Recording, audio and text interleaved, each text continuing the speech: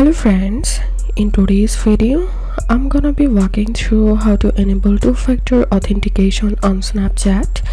But before getting started this video make sure to subscribe how to do it. So open your snapchat app and tap on your profile icon to the top left corner. And tap on the settings icon to the right hand corner. And tap on two-factor authentication.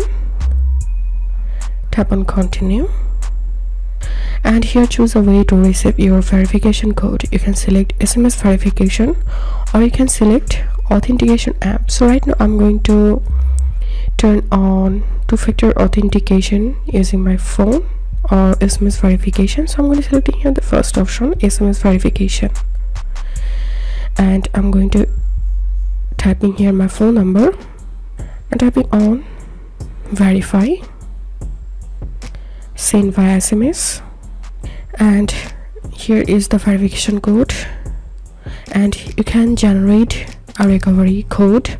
But right now i'm going to skipping this part. And finally here we can see i've successfully turned on two-step verification. So that's how you can do it. If this video helped you give a thumbs up and please consider subscribe to how to do it. Thank you for watching